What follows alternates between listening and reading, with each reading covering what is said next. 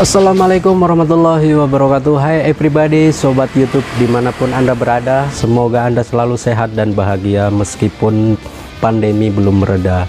Sebelumnya saya ucapkan selamat datang di channel saya SAS Channel Tutorial dan Review channel yang membahas seputar aplikasi smartphone bersama saya Ahmad Tony Tolani yang akan memandu jalannya video ini. Dan di video ini kebetulan ini video perdana akan saya bahas tentang Facebook ya. Kenapa harus Facebook? Ya karena Facebook adalah sosial media terbesar dan terbaik saat ini mengutip dari situs Databox Facebook telah menempati urutan pertama ya dengan pengguna terbesar di dunia saat ini yaitu 2,7 miliar pengguna di seluruh dunia dan separuhnya lebih menggunakan handphone. Facebook juga sangat populer dan familiar di semua kalangan baik itu remaja, anak-anak, orang dewasa maupun lanjut usia Facebook telah mendekatkan yang jauh. Facebook telah mempertemukan kita dengan teman-teman lama. Facebook juga telah jadi ajang reuni dan silaturahmi terlebih untuk keluarga. Facebook juga telah pertemukan kita ya mungkin dengan mantan bro hmm.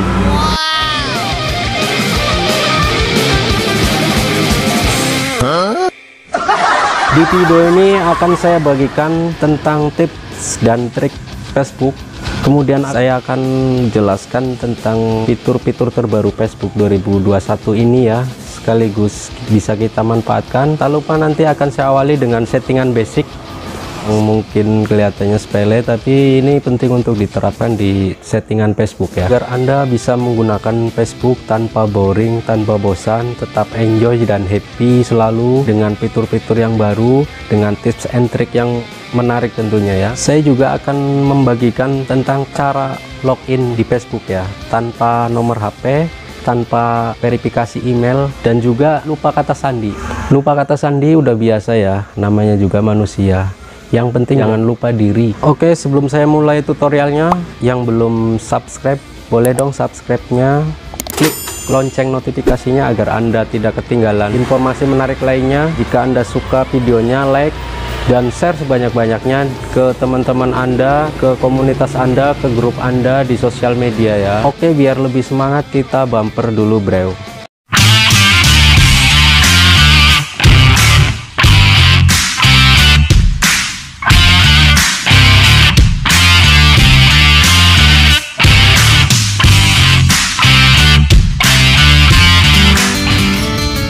Oke baik teman-teman.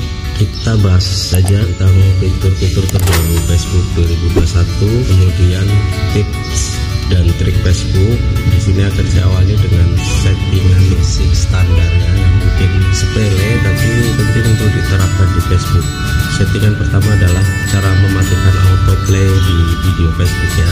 Ada dua alasan kenapa autoplay harus kita matikan. Alasan yang pertama adalah kita bisa menyeleksi atau memutar video secara manual ya sesuai dengan keinginan kita video mana yang kita sukai. Karena standar di Facebook ya secara default video kan terputar secara otomatis begitu kita buka dan kita scroll seperti ini.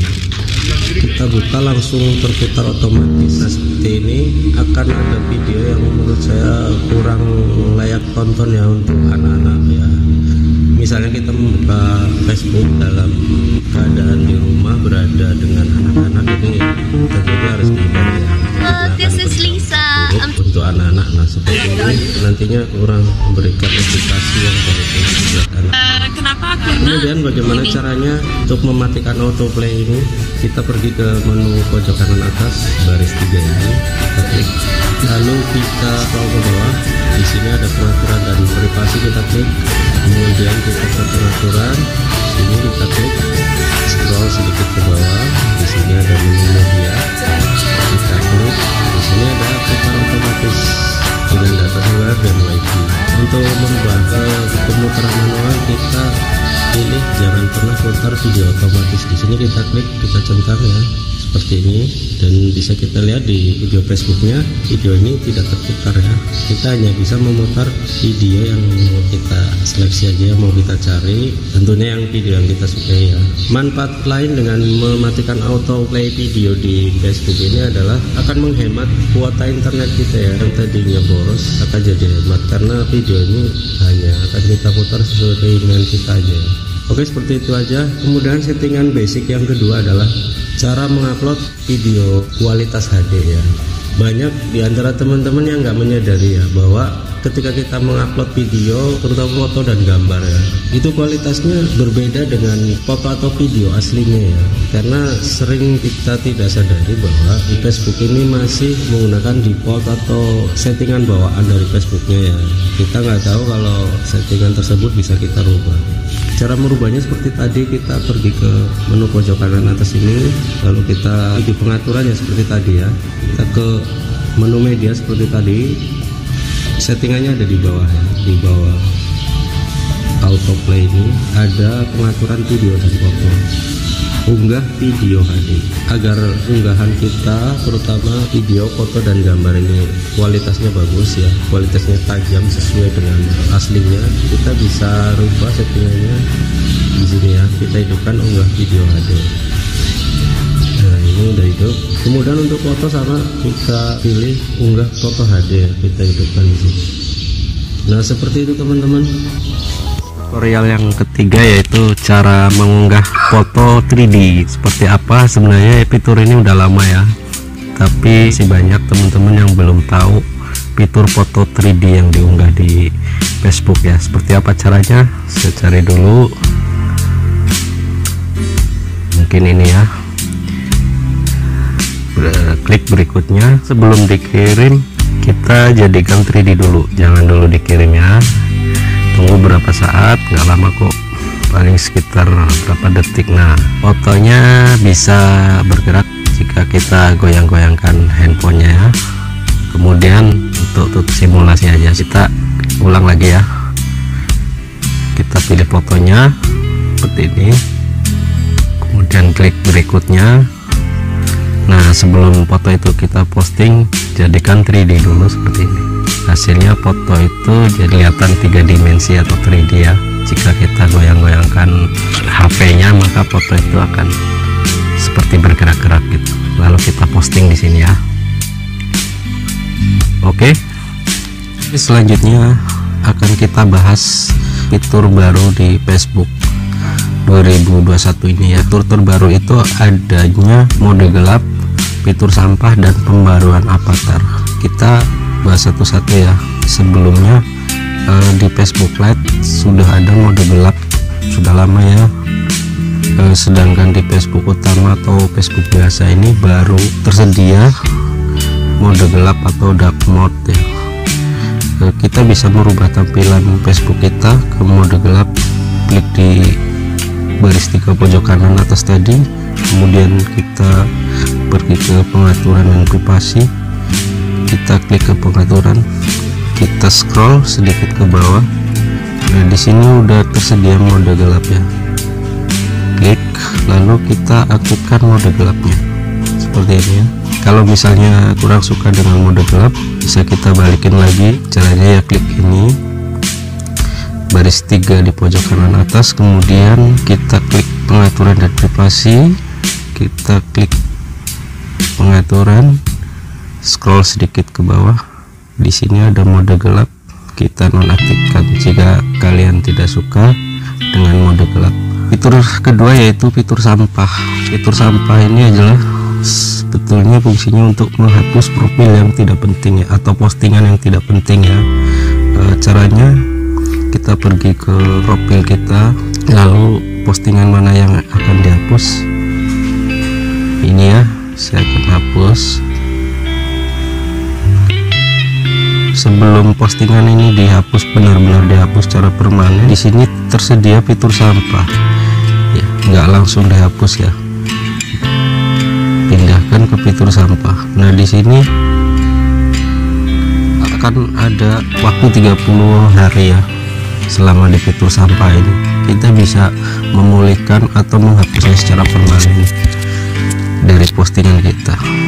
Jika kita ingin melihat fitur sampah tersebut kita gulir ke atas di profil Facebook kita ya. Di sini ada titik tiga di pojok kanan. Bukan di pojok kanan sih di bawah foto profil ya. Kita klik kemudian lihat di arsip ya. Lalu di sini ada fitur sampah. Nah ini bisa kita hapus atau kita pulihkan?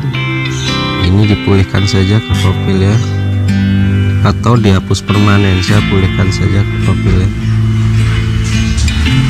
lalu klik pulihkan. Nah seperti itulah uh, fitur sampah yang ada di Facebook versi terbaru 2021 untuk selanjutnya adalah fitur pembaruan avatar. Seperti apa?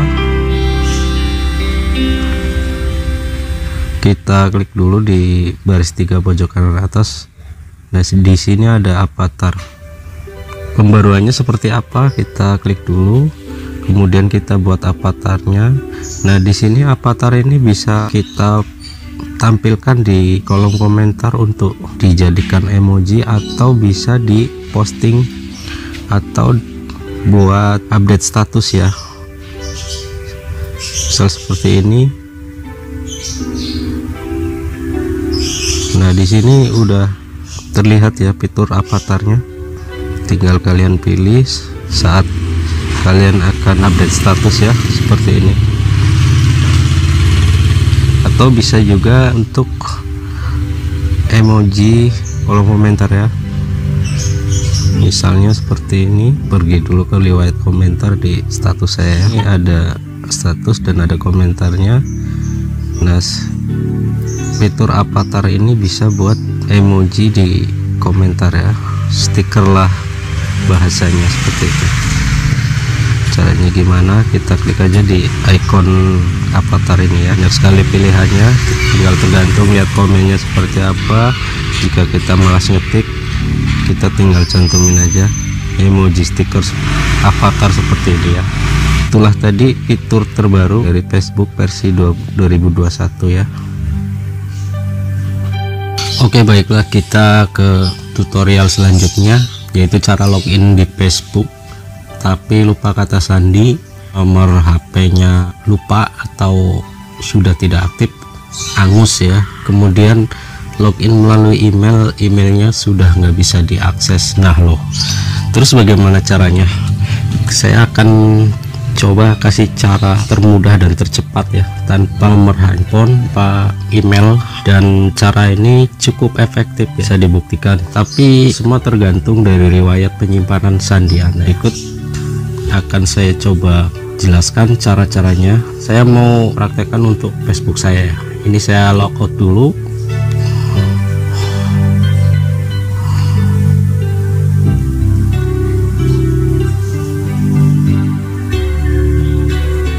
saya hapus dari perangkat. Saya mulai dari nol. Kemudian ini saya hapus juga dari perangkat. Nah di sini saya akan coba login ya. Anggap saja saya lupa kata sandi nomor handphone sudah hilang atau angus. Saya login melalui email juga. Email Facebooknya sudah nggak bisa diakses lagi. Kita masuk aja dari browser bawaan HP kita yaitu Google Chrome klik di sini kemudian kita klik Google.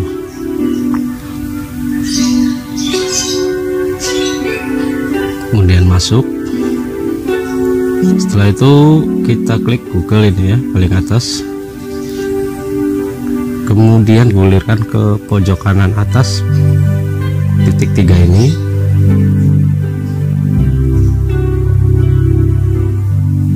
kita scroll ke bawah klik setelan. Di sini ada menu sandi ya. Di menu ini akan tersimpan riwayat sandi kita. Kita login uh, dengan nomor apa Facebook apa gitu. Uh, kalau riwayat kita pernah menyimpan pasti tersimpan di sini. Ada facebook.com dengan nomor sekian-sekian. Kemudian ada facebook.com dengan ini karena memang saya punya dua Facebook ya. Saya akan coba login di atas dulu ya. Seperti ini. Di sini ada kata sandinya ya. Kita langsung dilihat kata sandinya. Kalau memang sudah yakin tinggal disalin saja di sini ya. Salin. Masuk. Nah mudah kan? Ya ini saya login Facebook tanpa nomor HP ya tanpa verifikasi nomor HP ketika saya mencari passwordnya dan juga tanpa verifikasi lewat email ya. Cukup saya cari sandinya di Google melalui browser Chrome ya. Sangat mudah kan? Ya cara ini sebetulnya tidak 100% berhasil ya. Tinggal tergantung di HP Anda ada riwayat penyimpanan kata sandi misalnya mungkin Anda pernah mengalami suatu saat login atau logout terus ada notifikasi simpan kata sandi di Google. Misalnya kalian pernah menyimpannya berarti ya kemungkinan berhasil gitu kan karena ada riwayat penyimpanan di Google. Oke itu saja ya. Oke kita lanjut ke tutorial berikutnya yaitu cara mengamankan akun Facebook dari pembajakan. Kita ke menu pojok kanan atas baris tiga ini kita klik. Kemudian kita pilih pengaturan. Kemudian klik kata sandi dan keamanan. Lalu kita roll ke bawah. Kita klik gunakan autentikasi dua faktor ini kita scroll ke bawah pilih metodenya. Mau metode dengan email atau ke SMS ya untuk menerima kode verifikasinya. Saya pilih melalui pesan SMS saja. Kemudian klik lanjutkan. Ini nomornya. Klik lanjutkan lagi. Kita tunggu kode verifikasi dari pihak Facebook. Nah ini udah muncul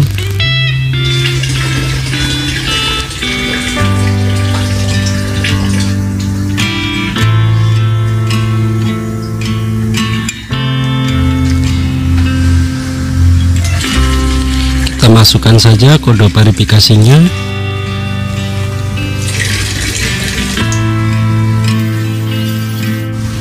Kemudian klik lanjutkan.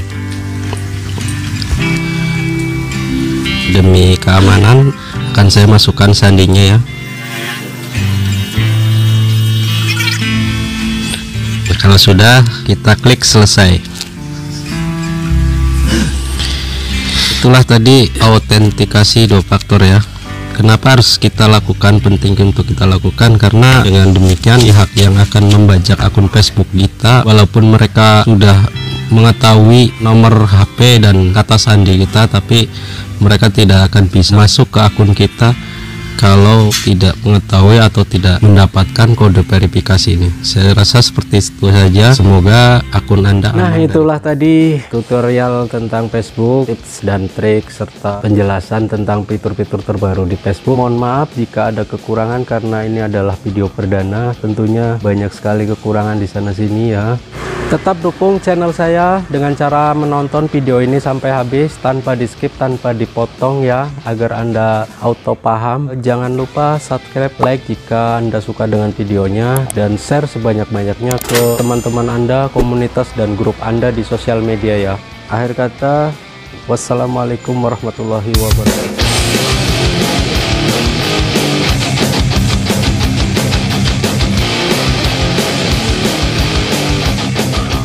Waduh, kok nggak bisa ya? Coba lagi ah. Baca mantra dulu kayaknya. Wih, tanggopi buka jamu mente sepet pokong irang purat.